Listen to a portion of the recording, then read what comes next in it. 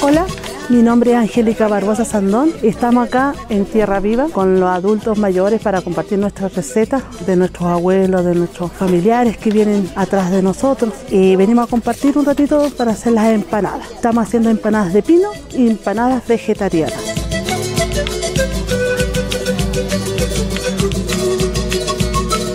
Las empanadas vegetarianas consisten en queso, albahaca, tomate y el pino es con carne de vacuno, cebolla, pasa, huevo y aceituna.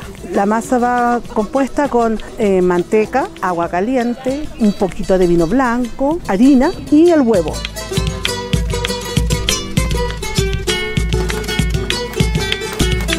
Y ahora vamos a verlas con las señoras que también saben sus recetas y muy buenas son sus secretos de, de sus antepasados y aquí vinimos a compartir y aprender de una de la otra. Eso me gusta. Son señoras que ya saben mucho más que yo, tienen más experiencia. Me gusta, me gusta la cocina, me gusta hacer mis cosas y que salgan bien, sabrosas.